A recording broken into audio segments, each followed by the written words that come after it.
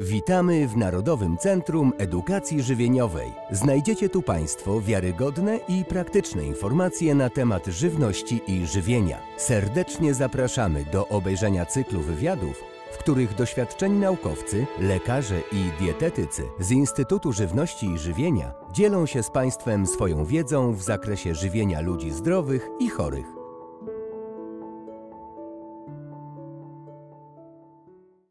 Sesja egzaminacyjna y, to dla studentów y, wielki wysiłek i wielki stres. Y, Proszę powiedzieć, czy sposób żywienia y, może wpłynąć na sukces y, w trakcie sesji egzaminacyjnej? Oczywiście, sposób żywienia przede wszystkim przyczynia się do łatwiejszego zapamiętywania nowych informacji, przyczynia się również do zwiększonej koncentracji, więc jak najbardziej tak, sposób żywienia jest niezwykle ważny w tym aspekcie. Co w takim razie y, należy wprowadzić do diety, y, żeby s- dać odpowiednie paliwo dla mózgu? Mhm. Że nie chodzi o to, żeby coś wprowadzić w konkretnym, w konkretnym czasie, tak? Chodzi o to, żeby żywić się prawidłowo przez cały rok. Nic nam nie da, jeśli będziemy się żywić tydzień przed sesją idealnie, a jeśli przez pozostałą część roku po prostu nasz sposób żywienia będzie odbiegał od tego ideału. Więc chodzi o to, żeby odżywiać się racjonalnie, prawidłowo przez okrągły rok, a nie tylko w trakcie sesji.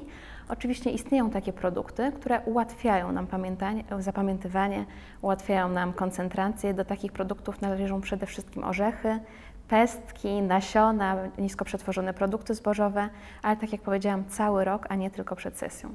Mhm. A czy y, można też powiedzieć o jakichś produktach, których nie należy spożywać, y, żeby sobie no, umysłu z- zbytnio nie obciążyć? Tak, są takie produkty, ale to nie tylko chodzi o to, żeby nie spożywać ich w trakcie sesji, tylko chodzi o to, żeby ograniczać ich spożycie w, w, ciągu, w ciągu całego roku, tak? Czyli przede wszystkim unikamy nisko, wysoko przetworzonych produktów, tak? E, czyli jakieś kolorowe e, napoje, e, kolorowe e, produkty, wysoko przetworzone produkty, takie jak chociażby, nie wiem, e, pieczywo tostowe, jakieś e, słodkie płatki śniadaniowe, wszystko zamieniamy na produkty nisko przetworzone, tak? Czyli zamiast białego pieczywa raczej pieczywo ciemne, czyli zamiast jakichś płatków kolorowych, słodkich, słodzonych, dosładzanych, z dodatkiem również soli i niezdrowych tłuszczów, wybieramy produkty takie jak chociażby płatki owsiane, czy jakieś własnoręcznie przygotowywane musli, ale tak jak powiedziałam, cały rok, a nie tylko w okresie sesji. A proszę wyjaśnić, dlaczego y, tak duże znaczenie ma to, żeby to były nieprzetworzone zboża? Mhm. Chodzi o to, że im bardziej przetworzony produkt, niezależnie od tego, czy jest to produkt taki jak e, z grupy produktów zbożowych, czy to jest produkt e, chociażby warzywny, owocowy, tym bardziej pozbawiony jest on e, cennych witamin, tak? Jeśli, jeśli chodzi o zawartość witamin w tych produktach wysoko przetworzonych, jest kilkakrotnie często niższa niż w produktach, e, wysok, e, niż w produktach nisko przetworzonych, tak?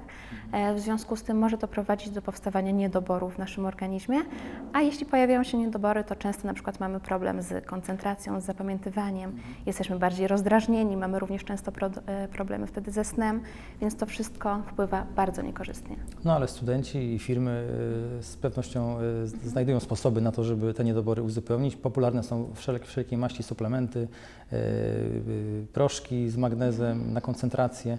Co Pani sądzi? Czy wspomaganie się takimi środkami przed sesją ma, ma jakiś sens? Mhm. Bardziej to chyba będzie działało na naszą psychikę, tak? Jeśli nasza dieta jest racjonalna, oparta na piramidzie zdrowego żywienia i aktywności fizycznej, tak? Czyli jeśli odżywiamy się prawidłowo przez cały rok, absolutnie nie ma konieczności, nie ma takiej potrzeby, żeby stosować dodatkowe suplementy diety, tak?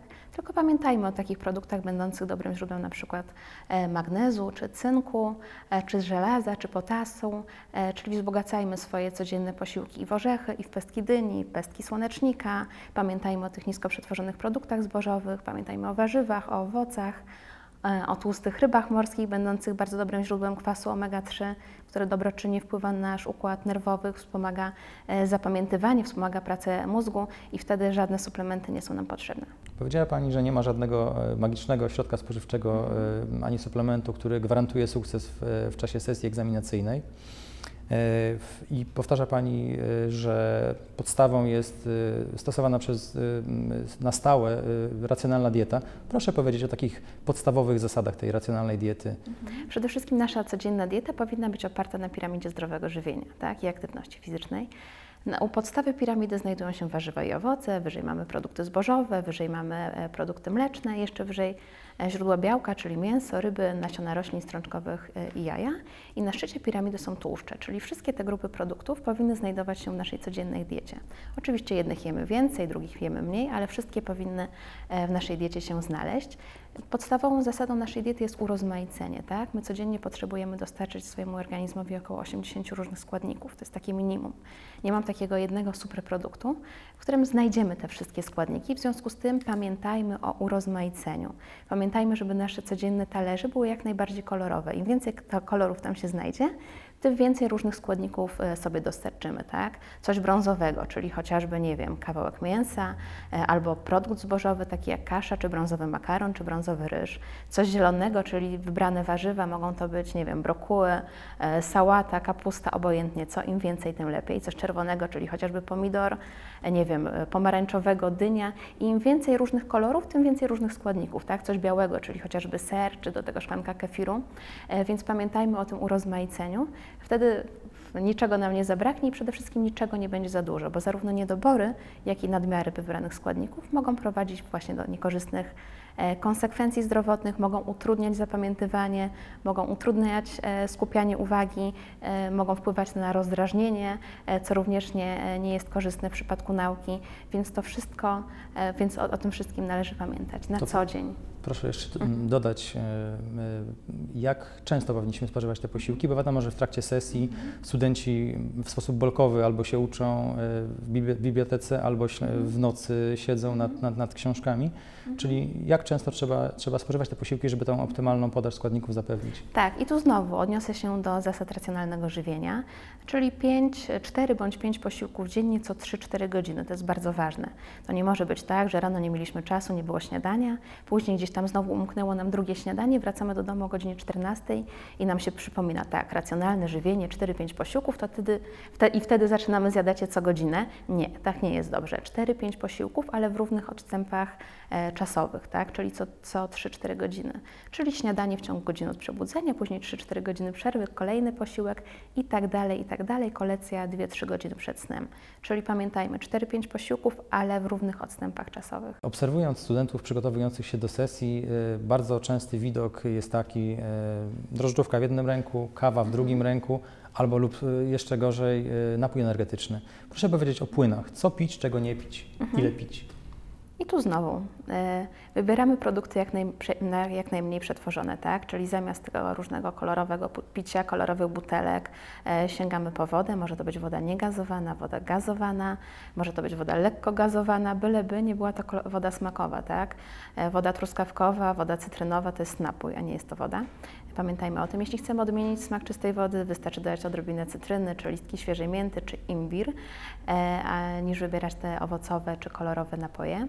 Czyli pijemy tak, głównie wodę, możemy pić kawę, E, ważne, żeby to była taka prawdziwa kawa, a nie jakieś takie miksy gotowe w sklepach. Czasami są już gotowe kawy w butelkach. Wydaje mi się, że w takich e, trudnych momentach e, nadużywana jest kawa i tak jak wcześniej mówiłem, też napoje energetyczne. Proszę powiedzieć, e, ile tej kawy można e, mhm. bezpiecznie wypić, żeby, żeby sobie nie rozregulować mhm. e, sprawności umysłowej? Tak, kawy spokojnie możemy wypić 3-4 filiżanki w ciągu dnia. Jeśli chodzi o napoje energetyczne, nie musimy ich pić wcale, tak?